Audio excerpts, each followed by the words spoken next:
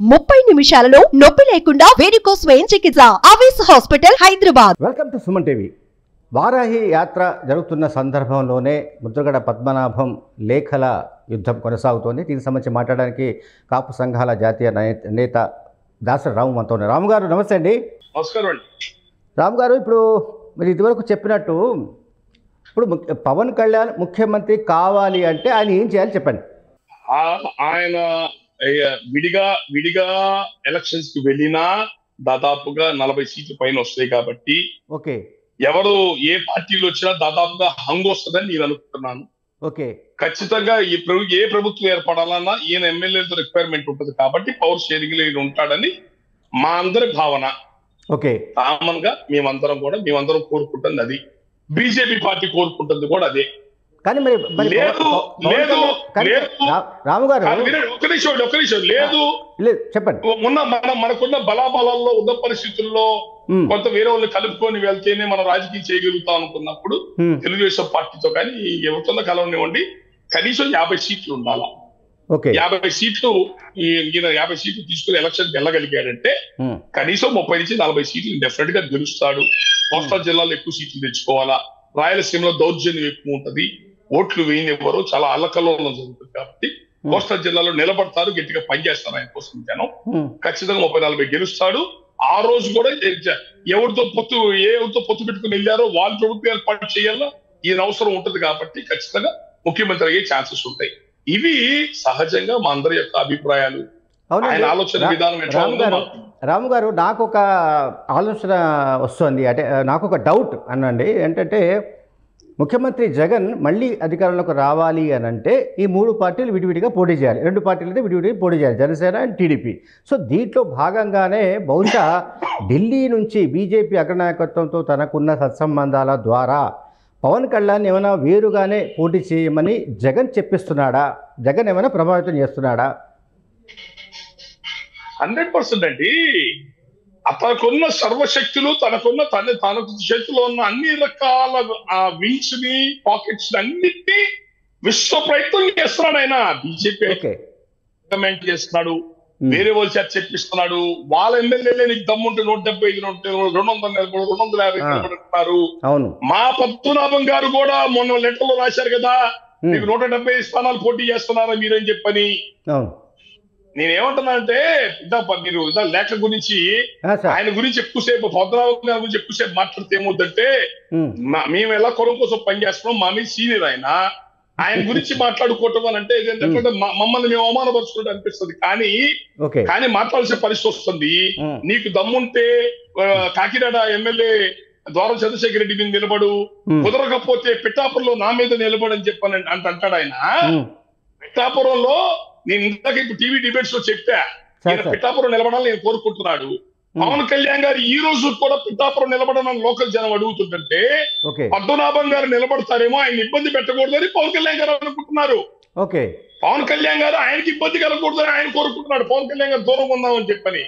ఈయనేమో కోరుకుంటున్నాడు నీకు తమ్ముంటే వచ్చి దాని నియోజకవర్గంలో నిలబడుతున్నాడు పొద్దున ఆంధ్రజ్యోతి ఏపీఎన్లో చెప్పాను నేను. పవన్ కళ్యాణ్ గారు ఏ నియోజకవర్గంలో నిలబడితే ముందు ఆయన్ని ఓడగొట్టడానికి ఏడు వందల కోట్లు ప్లాన్ చేశారు.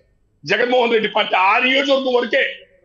ఒక్క మనిషి రైతులో పత్రం చేయాలి ఓడగొట్టని ఏడు వందల కోట్లు అంటే పిఠాపురంలో పవన్ కళ్యాణ్ గారు నిలబడితే పద్మనాభం గారు ఇటు నిలబడితే జగన్మోహన్ రెడ్డి డబ్బులు ఏడు వందల కోట్ల రూపాయలు ఖర్చు పెడితే ముద్రగడ పద్మనాభం గారు గెలుస్తారు. ఎవరు మీద గెలుస్తారు? నీ కులాల నుంచి కాపు కులం నుంచి వచ్చిన సాటి నాయకుడిని నాశనం చేద్దామని నువ్వే కోరుకుంటున్నావు. పవన్ కళ్యాణ్ ఏమో నువ్వు నిలబడకపోతే నువ్వు నిలబడినట్టు దూరం వెళ్ళిపోదాం ఆయన అనుకుంటుంటే అవును రాము గారు రా నిలబడు. రైట్. వినండి వినండి. జగన్మోహన్ రెడ్డి దగ్గరికి ఏడు వందల కోట్లు తీసుకొచ్చి నిన్ను ఓడగొట్టి నిన్ను నిన్ను నిన్ను నిన్ను ఇబ్బంది పెడతానని చెప్పని పుత్తగడ పద్మనాభం ఆలోచిస్తున్నాడు. ఇక రెండోది నువ్వు వచ్చి పిఠాపురం నిలబడంటున్నాడు. మేము అడుగుతున్నా ముదగడ పద్మనాభం గారిని. అయ్యా పద్మనాభం గారి మీకు తమ్ముంటే ఎమ్మెల్యే టికెట్ అడగటం మంత్రి పదవి అడగడం ఎంపీ టికెట్ అడగబాకండి. మీరు రాష్ట్ర స్థాయి నాయకులు కదా. బీజేపీ నాయకులు కనుకొని రాష్ట్ర పార్టీ పెట్టి నడపడి మేము సపోర్ట్ చేస్తాం. ఎమ్మెల్యే నిలబడటం గొప్ప కాదు. పవన్ కళ్యాణ్ రాష్ట్ర స్థాయి పార్టీ పెట్టి ఓ రాష్ట్ర స్థాయి వ్యవస్థ నడుపుతున్నాడు. మీకు Hmm. అయితే మీరు నడపండి మీరు సపోర్ట్ చేస్తాం ఓకే. అంటే అట్లా కాదు. మీరు ఇప్పుడు మీరే చెప్తున్నట్టు ఈ ఏడు వందల కోట్ల లెక్క ఏంటండి? మన రాము గారు? ఐదు వందల నుంచి ఏడు వందల కోట్ల రూపాయలు పవన్ కళ్యాణ్ నిలబడి నియోజకవర్గానికి కేటాయించాడు జగన్మోహన్ రెడ్డి. ఏంటి లెక్క చాలా అథెంటిక్గా చెప్తున్నారు మీరు. ఏంటి లెక్క ఎక్కడి నుంచి వచ్చిందని? ఖచ్చితంగా పిఠాపురంలో పిఠాపురం లోకల్ మొన్న వెళ్తే చెప్పారండి విషయాలు. పద్మనాభం గారు పిఠాపురం నిలబడుతున్నారండి. ఓకే. పవన్ కళ్యాణ్ గారు కూడా పిఠాపురం నిలబడే అవకాశాలు నేను చెప్పుకుంటున్నారు. ఓకే. ఏడు వందల కోట్లు ఎనిమిది వందల కోట్లకైనా కూడా జగన్మోహన్ రెడ్డి మొత్తం ప్లాన్ చేశారంట. ఆయన ఓడగొట్టడానికి. చాలా పెద్ద స్థాయిలో అమౌంట్ ఇక్కడికి ఆయన నిలబడే నియోజక పవన్ కళ్యాణ్ నిలబడే నియోజకవర్గం పొలం చేస్తున్నారని ఉమ్. ఆ నియోజకవర్గం వాళ్ళే చెప్పారు నాకు ఇది. మన గాజువాక భీమవరంలో ఖర్చు పెట్టారు కదా వంద కోట్లు వంద కోట్లు పెట్టారు కదా. ఆ, రోజుకి వంద కోట్లు అంటే చాలా ఎక్కువ అది. లెక్కలో వాళ్ళ దగ్గర ఉన్న డబ్బు ఇప్పుడు. వాళ్ళ దగ్గర ఉన్న డబ్బుకి ఓకే. ఐదు వందల కోట్లు ఆరు వందల కోట్లు అంటే లెక్క రైట్ రామ్ గారు మరి ఇప్పుడు పవన్ కళ్యాణ్ ఎక్కడి నుంచి పోటీ చేస్తే సేఫ్ అంటారు మరి? ఆయన ఎక్కడి నుంచి పోటీ చేయాలో ఇప్పుడు చెప్తే ఈ రోజే ఓడిపోతాడు. అందుకని ఎవరికి చెప్పట్లే ఆయన. ఈ రోజు చెప్తేనే ఈ రోజు ఓడిపోతారా? అంతే ఓడిపోయినట్టే. అక్కడ ఓట్లు ఎగిరిపోతాయి పవన్ కళ్యాణ్ కేసి ఓట్లని తీసేస్తారు. ఏడాది బయట జనాన్ని తీసుకొచ్చి ఓటర్లుగా నమోదు చేస్తారు. ఆ. ఏరియాలో తీసుకొచ్చి ఎలక్షన్ రోజుకి ఏం మిగలదు. పవన్ కళ్యాణ్ ఏం మిగలదు. నియోజకవర్గం. అది అంటే బయట చెప్పుకోలేకపోతున్నాడు? పరిస్థితి ఘోరంగా ఉందంటే ఒక. మాఫియా చేతిలో పడ్డామండి. రాష్ట్రం అంతా ఒక. పోయినసారి లాగా రెండు సార్లు రెండు చోట్ల పోటీ చేస్తారా ప- పవన్ కళ్యాణ్ గారు ఒక్క ఒక్క చోట చేస్తారా ఆయన పక్కన వాళ్ళకే చెప్పట్లేదు. ఇలాంటి ఇబ్బందులు ఉన్నాయని ఆయన. ఆ, ఇప్పుడు మొన్న మొన్నే కదండి ఈనాడు పేపర్లో వాడు ఒకే ఇంటి డోర్ నెంబర్ మీద వంద మంది ఓటర్లను చేర్చారని చెప్పాను? ఎక్కడ ఉంది ప్రజాస్వామ్యం ఎక్కడికి పోతుందండి? ఎందుకంటే ఓటర్లా, ఓటర్లా? రామ్ గారు అంటే ముఖ్యమంత్రి జగన్ తెలుగుదేశం పార్టీ చంద్రబాబు నాయుడు కంటే పవన్ అంటేనే భయపడుతున్నాడా? అతను అతనే తెలుగుదేశం పార్టీ కాదు జగన్ జగన్మోహన్ రెడ్డి టార్గెట్. తెలుగుదేశం పార్టీని ఎంత నిర్వీర్యం చేయాలో బలహీనం పరచాలో చేశాడు అతను. చచ్చిపోయిన పార్టీని ఈ పవన్ కళ్యాణ్ గారే భుజానిస్తులు లేపుతున్నాడు ప్రతిరోజు. ఓట్లు చేయలేమన్నా ఓట్లు విప్పడం మీలో మొదలెట్టాడు ఆ రోజుతో ప్రాణం పోస్తుంది మళ్ళీ చచ్చిపోయిన పార్టీ. ఆ రోజుతో ప్రాణం పోస్తుంది రెండు సార్లు చంద్రబాబు నాయుడు ఇంటికి పోయాడు. దాంతో తెలుగుదేశం పార్టీ వాళ్ళకి నమ్మకం వచ్చేసింది. పవన్ కళ్యాణ్ మనతో వస్తున్నాడు. పవన్ కళ్యాణ్తో యువత మనతో వస్తుంది. పవన్ కళ్యాణ్ సామాజిక వర్గం మనతో వస్తుంది. మనం ఖచ్చితంగా గెలుస్తాం.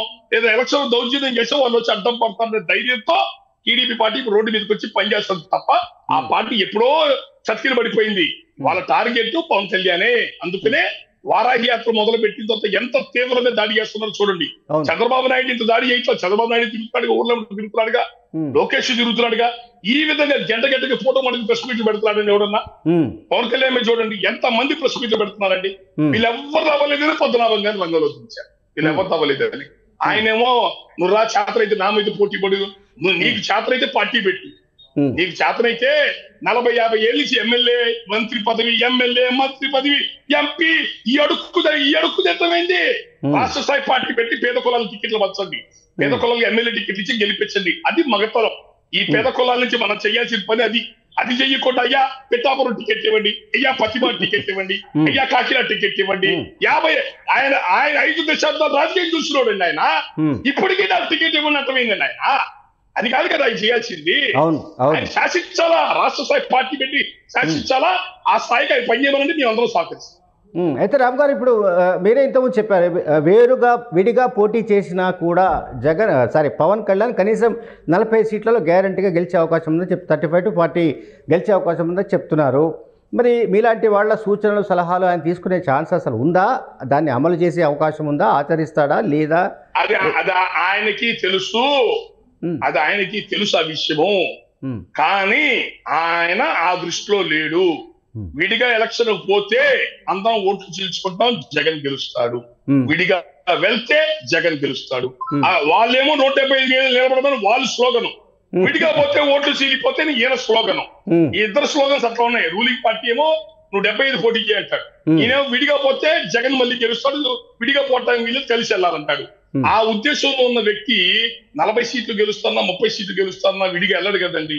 అవును. ఇప్పుడు అతను ఎట్టి పరిస్థితుల్లో దించాల్సిందే అతను అరాచక శక్తిగా ఉన్న దించాల్సిందే అనుకున్నాడు.